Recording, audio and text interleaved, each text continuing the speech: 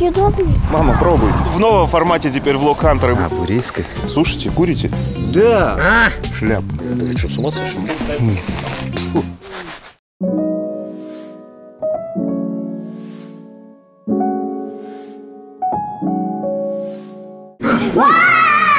Заяц упал. Бери, отряхни. Такая большая девочка. Я люблю ее таскать на ручках. А ты что, правда снимаешь? Да, куда мы едем? Мостики на ночевку. Сегодня у нас будет э, выпуск влог Хантера совместно с выпуском папкиного влога. И Катькиной. И Катькиного. Ссылка в описании. Погода не очень шепчет, конечно, но А, ребят, ставьте лайк. обязательно на папкин влог. А мы, а мы, а мы 70 тысяч подписчиков набрали? Не, столько не набрали. Ну, скоро наберем же, да? Обязательно. Че орем? Он надоел. Нельзя так про брата говорить. Поздороваться никто не хочет. Всем привет. Здрасте. Короче, у нас наступила осень. Вот, это, с одной стороны, печально, но с другой стороны, у природы нет плохой погоды. И сегодня мы отправляемся к моему хорошему знакомому, у которого замечательное, прекрасное, самое лучшее в мире имя Евгений. Соответственно, без провизии никак нельзя, поэтому жену отправили за пирожками в магазин. Уже опаздываем, как обычно. Сейчас собираемся и выезжаем в путь. Надо ж здороваться.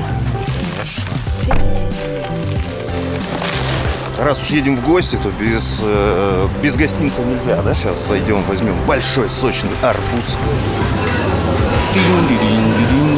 Ты знаешь, какие конфетки любят Евгений?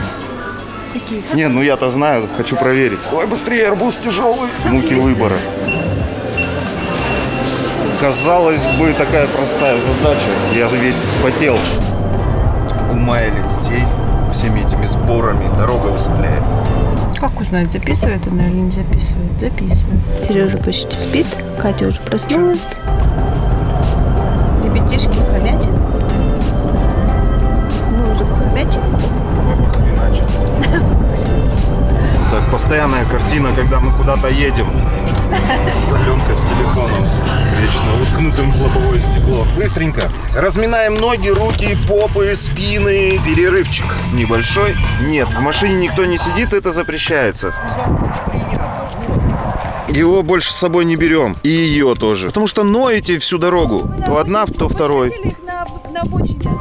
Все здесь оставляем. Выходи, Катюша, погуляешь. Выходи, выходи. Не хочу, я знаю, вы не оставите. Наше амурское национальное богатство. Соя матушка. Это как горох такой. Только, только не горох. Видишь? Они съедобные?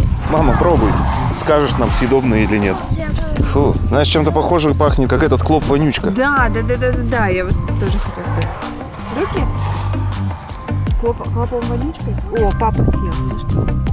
Как недозрелый горох. Лишь бы не обдристаться. Как не обрастаться? Не пукать? Я думаю, вы уже поняли, что в новом формате теперь влог Хантеры выходят. Начнем с таких легких словечек, а дальше будет пожестче. Наверное. Я не понимаю, в какой момент э, в моей семье вот родился этот фотограф травяной. Каждая вот такая остановка, она превращается в фотосессию на полчаса. Зайдите в ее инстаграм, посмотрите. Старая райчиха. У вас с чем-нибудь ассоциируется название? Нет? Как будто райчиха это какая-то такая старая бабка, морщинистая, такая противная. Хозяева вот этого домика, этого двора. Видишь, как обустроили? Наверняка место сбора местной молодежи. И мамашек с детьми. Мамочки. А что мамочки, мамашки? Почему Ты нет? Я не мамашка, не Ты-то нет, конечно. Я же не про тебя. Ты же здесь не собираешься с детьми. Катаемся, ну, вокруг деревни уже два раза. Это школа? Да. И здесь ты живешь?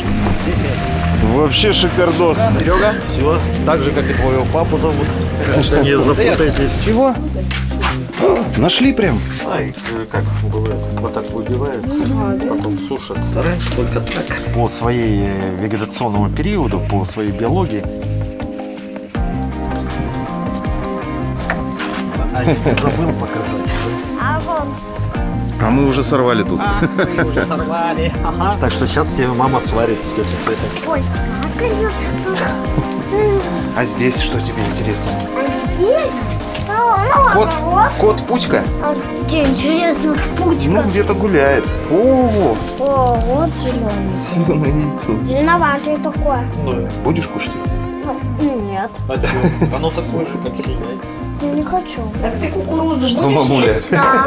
Тогда я поставлю варить, да? Припрягли? Нет, я сама припряглась. Да я шучу. Смотрите, друзья, какая школа необычный проект вообще. Если бы не табличка на крыльце, я бы никогда не подумал, что это школа. Наверное, градообразующая это школа, да, сейчас? Больше ничего не осталось. Это здание ничейное, Да, все, оно заброшенное. заброшено. А самое интересное,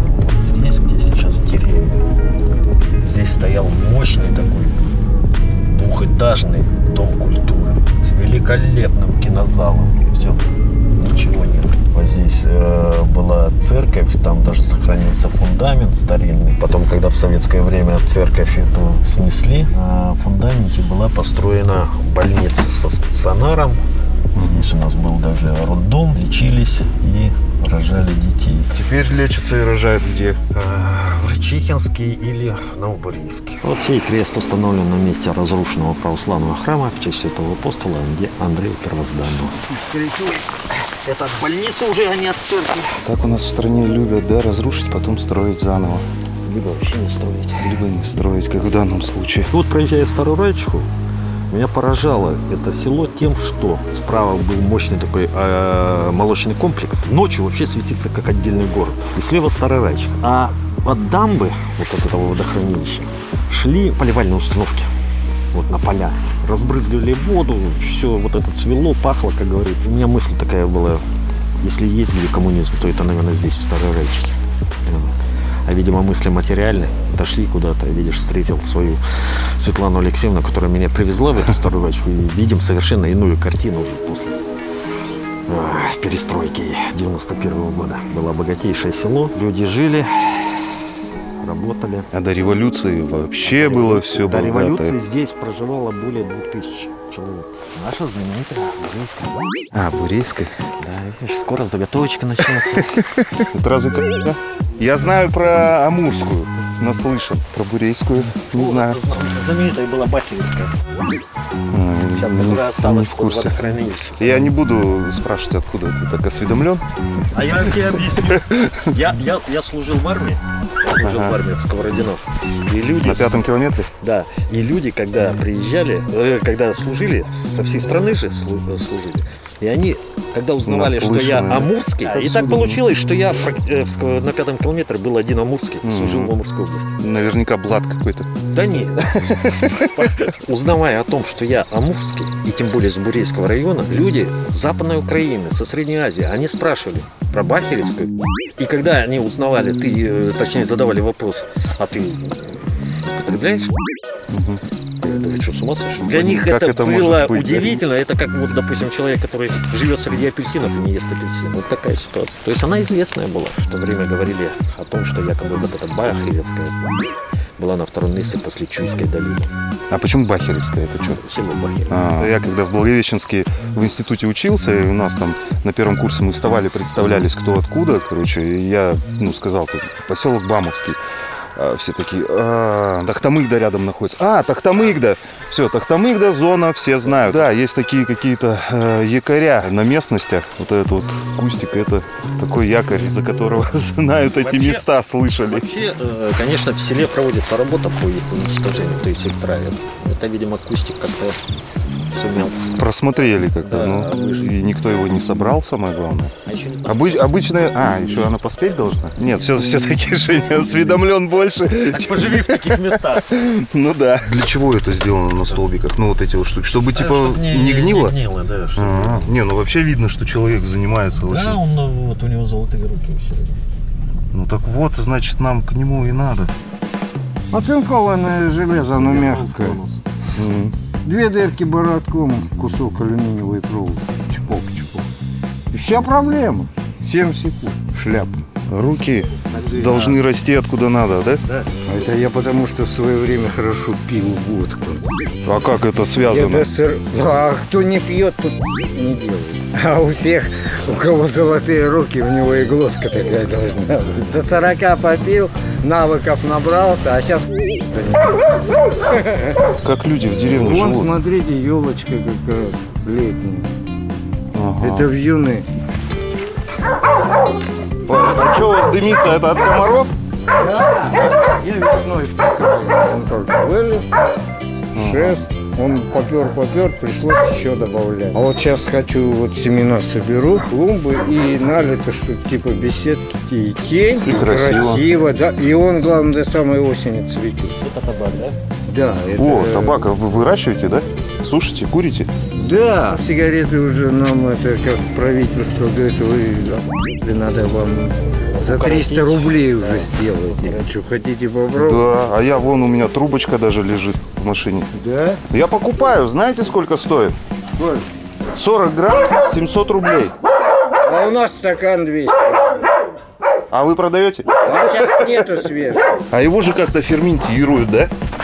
Или вы просто сушите, режете, Я да? вот нижние листы вот собрал. Комнату отдыха сделал. У меня мастерская зимняя. А там раз и прилег, да? Да, телевизор. Зимняя мастерская. Вот сейчас работать не буду. Чем мне заниматься? Буду что-нибудь делать. Женя, так мы, может, до того кустика сбегаем. Я шучу. Вообще не рекомендую, осуждаю. Я курю, в смысле табак. И вот в последнее время немножко трубочку курю. Грех не попробовать. Я обычно по утру глотку продрать. То сигареты, то... Так и сигареты беру, самые черные. Крепкие, да? Да, черные. И, пи- и пиво, наверное, это девятку, да? Не, я ж не пью. 20 А. лет. Не делайте так никогда, не курите и не пейте. За мусор плачу. Ты и здесь и там платишь. Да. Я же прописан там. Так дома-то нету. Ты же видел, там нету ничего. Ну я его разобрал. А за мусор плачу и там, и здесь. Две квитанции. Тогда же говорили, надо по факту. Вот Ира мусор не выкидывает с магазина, все разбирает. Я увожу там что сжигать надо. Коробки, это все. Ни разу, говорит, не выкинул в контейнер 1200 в месяц. Или нас вот двое не мусорим. А почему с квадратуры стали брать, а не с человека? Кто мусорит, квадрат или человек? Ну, видимо, квадрат. Получается. Получается так.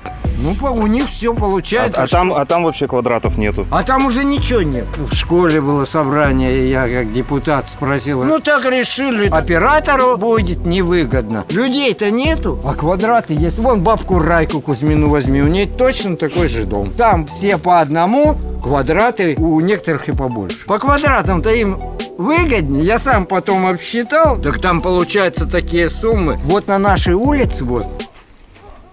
Уже и улицы не назовешь. уже. 16 человек живет. Вот так. Все. Пустой ящик. Так стоит. Раскладывает свою эту закидалку. Как она называется? Бом. А нахрена ты? Ну тут и за месяц не накопится. Так мы ж под этим ГЛОНАСС или как она? Куда заехал и зачем заехал? Сколько простоял? Может, да, может ты не ездил где-нибудь, пропьянствовал в городе. Чего смеяться? Двое Юмасовых и нас двое. Все. Ну у нас же это просто дурь. Да. Ну вы вот всю жизнь живете, у вас желания не было уехать отсюда. Ну вот когда в молодости было, я уехал. А почему вернулись? Вот жизнь перестроим по-новому. Ну, приехал к матери в отпуск. Мать, да возвращайтесь. Тут таких мне золотых гор наобещали. Но никто ж не знал. Вот по генплану ты будешь жить на твою... Вот прям тут рядом будут строить тебе коттедж двухуровневый. Так столько наобещали. А тут Ельцин вылез откуда. А, будут жить только жулики. Колхоз. А, а потом куда возвращаться? Туда уже тоже. Вот Это был дом. У нас баня была. Вот, у нас, видишь, зону построили. Ну, мы сегодня проезжали. Ну, а здесь кто-нибудь собирается вообще? Нет, здесь просто такое место, пустырь прям. Пустырь, да, вот выбрали место хоть. такое. Ну, это кто деньги выделил? А это вот э, грант, участие в гранте по развитию сел. Ну Вот катались мы, катались с Женей, незаметно наступила ночь, ехали к дому, сейчас за стол садиться. Короче, полтретьего ночи мы с Женей только наобщались. Блин, классно. Тем много интересных обсудили. Все, всем спокойной ночи, до завтра. Всем доброе утро. Вчера вечером, конечно, за храброй водой было много разговоров, но снимать такое и выкладывать я решил, что не очень хорошо, чтобы никого не дискредитировать. Да, мы определили план на сегодняшний день. Вот сейчас подъезжаем к фермерскому хозяйству. Довольно интересная история. Виктория приехала сюда на Дальний Восток вот за этим вот мужчиной замечательным. И если б если б я был женщиной, да, я бы тоже поехал. Давайте, подготовитесь, да. С женщинами всегда непросто, чтобы сразу с наскоку так не получится. Хоть не это, хоть шест не выдали. С шестом прыгать. Так вот, Женя говорит, раньше плита вот эта лежала, тут сейчас канаву расширяли и убрали плиту. И идем в школу. Школу построили по молдавскому проекту. Что, собственно, и заинтересовало. Третий этаж этот, он на самом деле не третий этаж.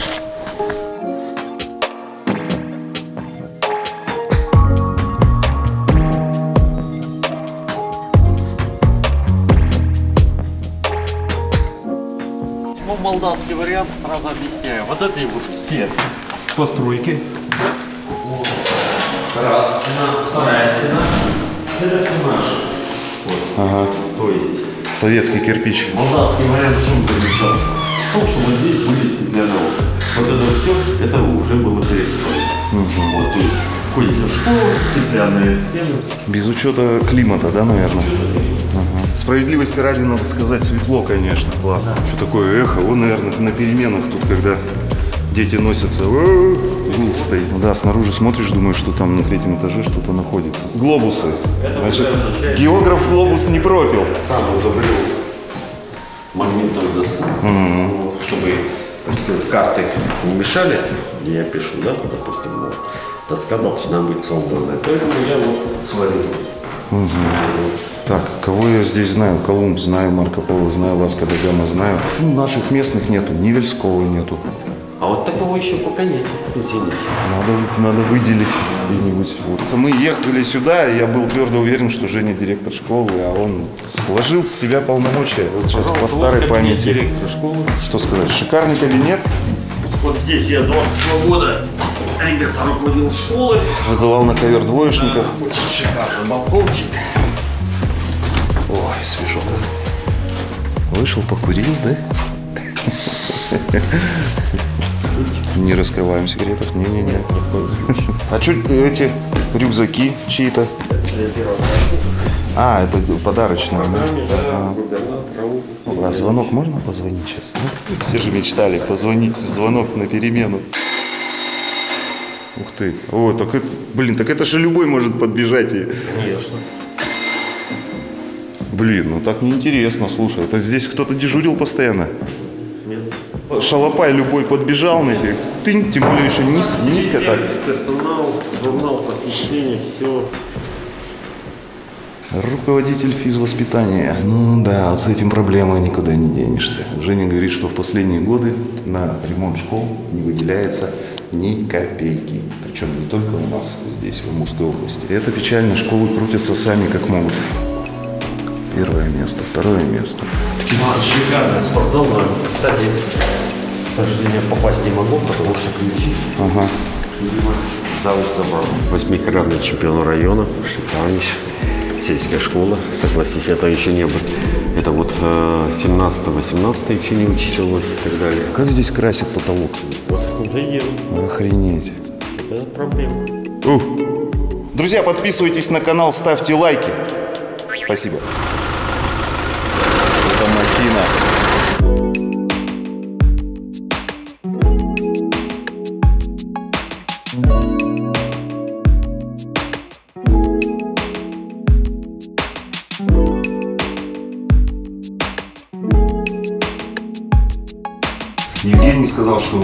человек с очень удивительной судьбой и с очень интересной историей жизни. И в первую очередь за счет того, что вы сами из Москвы и как-то вот оказались здесь. Познакомилась с мужем, он мне там служил в армии. Познакомились, встречались. Когда демобилизовался, он пожил у нас, ну, с моими родителями. И потом ему надо все равно домой ехать. Он уехал. Я решилась. Теперь Страшновато было. Тем более из с Москвы ехать в неизвестность. Но я сперва поехала посмотреть, куда мне ехать. Нет, на даль этому в Казахстан. Работала, конечно, в во- военном городке. Муж в военном совхозе. Мы привыкли все жить, национальности все вместе. А там пошел уже раздел. Ты русский, ты казах, ты немец. И все старались как бы куда-то уехать. Переехали оттуда именно из-за национализма, да? Да, Пошло вот. это, да. Там пошли уже изнасилования, вот такое вот. Или вот даже приезжаешь в Алмату или в Бишкек, ну вот магазин, да, как приедешь, он-то понимает я-то нет, нет. Я просто чувствую, что они говорят что-то нехорошее уже. Или ну, вот даже при- придешь в магазин, а тебя нет, они не слышат, повернутся и уйдут. Хотя вот мы жили в военном городке и военном совхозе, у нас сборная солянка людей была. У нас не было такого. А вот именно кто вот приезжал из соседних поселков, такое творили. Мы бы не, уехали бы, наверное, с Казахстана, но то, что вот такой вот перепел пошел, и муж решился поехать на Дальний Восток посмотреть. Вот мы сюда приехали. Ну, здесь сестра с мужем служили, они нас сюда позвали. И он поехал с мамой на Дальний Восток посмотреть, куда, что, куда ехать. Приехал, говорит, все, мы уезжаем. Я- Почему? Что здесь понравилось? вам? ну, не знаю, мне кажется, зелень, вот это вот простор такой вот. Там в Казахстане как бы степи, а немножко, я говорю, даже, да- даже когда я домой летала в Москву с Казахстана, я любовалась зеленью. Вот когда я сюда приехала с Казахстана, даже не буду сравнивать Москву, мне так тяжело было, я первые, наверное, дня три проплакала, потому что куда я приехала? Дом черный, все черное.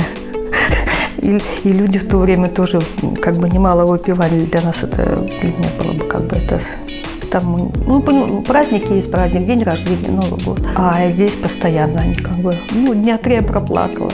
Но потом плачь, не плачь, а дела делать надо, жить надо. Давай этот дом очищать, убирать. Ой, Конечно, в первый год очень было тяжело. В колхозе купили корову.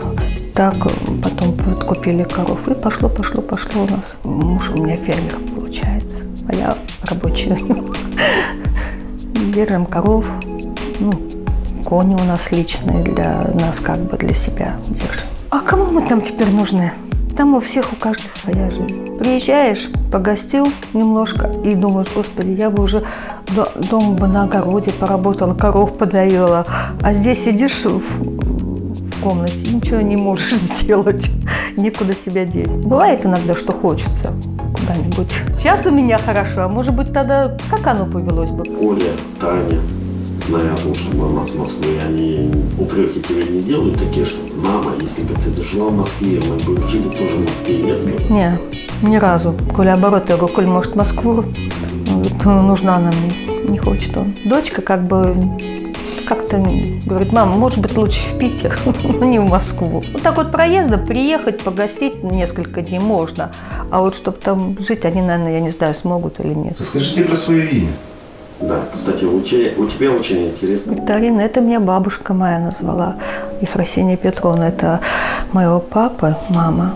Она сказала, это Викторина. Хотела она не Виктория, не Вика, а Викторина. Особенно.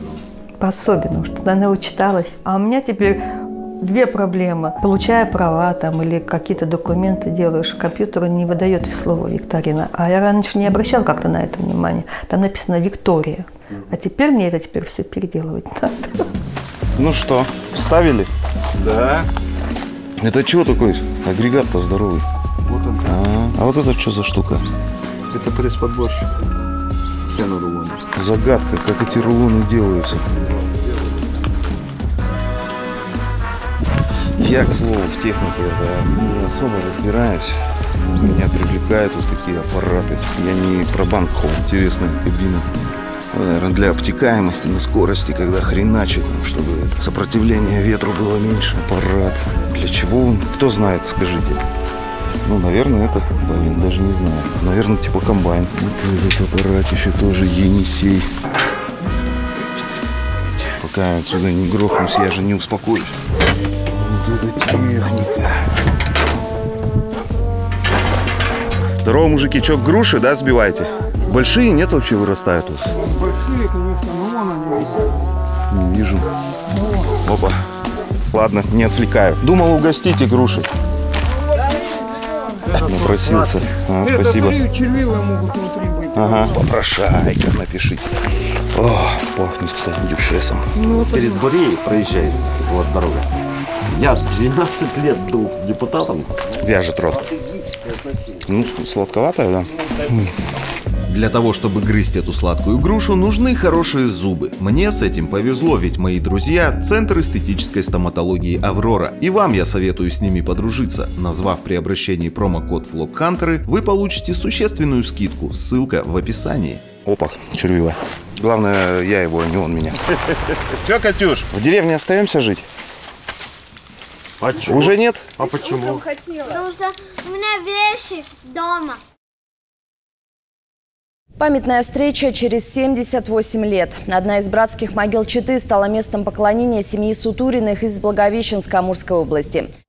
В 2021 году э, должна была состояться конференция э, краеведческая в городе Нерчинск. Мы с супругой решили так, что сделаем круиз по местам, которые связаны именно с моей, так сказать, родовой линией. В городе Чита был захоронен дед вот в братской могиле. Получилось так, что до моего приезда никто никогда не посещал этой могилы. В Бурятии есть такой поселок Мухоршибирь, э, который является ну, родовым гнездом нашего, так сказать, э, нашей фамилии. Там же, в Мухоршибире, родился мой дед. Впоследствии мой дед перебрался в Амурскую область. В июле 41 года был призван защищать родину, и он попал в танковые войска. В 1943 году он участвовал в знаменитом Прохоровском сражении э, на Курской дуге. Там его танк был подбит, двое э, человек погибли, и двое были тяжело раненые. Он и механик-водитель. А мой дед был командиром танка. Кстати, вот этот механик-водитель, он оказался земляком моего деда с Дамбуков. Зейского района. Он остался жив, и поэтому вся история про моего деда, она была э, известна нам со слов именно этого земляка. Я, как сейчас помню, только единственное имя его, Александр, фамилия не знаю. И вот он рассказал, как погиб мой дед, то есть он получил множество всяких ранений осколочных в течение многих э, месяцев до декабря 1943 года. Он был, э, так сказать, э, по различным госпиталям переправлен, и в итоге в декабре 43 года его отправили на санитарном поезде в Читу. А В Чите у нас был, э, было очень много госпиталей, которые принимали э, тяжело раненых, либо безнадежных бойцов. И не доезжая Читы, мой дед э, умер. Он был похоронен в братской могиле. Я, как внук, решил, что необходимо посетить эту могилу, отдать э, дань уважения. Это была у меня навязчивая идея, наверное, все-таки. Вместе с супругой отправился в город Читу, где мне очень сильно помогли э, в плане находки этого м, захоронения. Э, Читинский э, военкомат Галина э, Вениаминовна, которая нас встретила, привезла туда, и мы так сказать, э, оказались именно на этом месте, где был захоронен мой дед. Прошло 78 лет с момента захоронения моего деда, но тем не менее э, чувства были неописуемые. Я чувствовал какую-то все-таки родственную связь. Меня действительно очень э, проникли такие чувства родства, крови, что ли. Я возложил цветы э, на могилу деда, поклонился, поговорил с ним. Все то, что известно или неизвестно про Великую Отечественную войну, мы должны передавать это своим детям, своим внукам, чтобы они помнили о том, что деды прадеды вот, встали на защиту нашего Отечества. Они не пожалели жизни ради того, чтобы мы жили э, в мире под этим светлым голубым небом. Закон подлости э, записали интервью в доме, потому что полгода была, ну, дождь шел. Вышли, и вот такая вот прекрасная. Я говорю, закон подлости, да? Ребенок уезжать даже не хочет. Не хочет уезжать. На следующие выходные приедешь? В деревне свобода, правда? Иди. Прощаемся для кадра. Спасибо за все. Ждем тоже вас с ответным визитом. После старой райчихи решили заехать еще в Райчихинск. Услышали просто тут, что такое местечко здесь сделали. Пляжик небольшой с такой качелькой прикольной. Классно. Классно, что появляются такие места.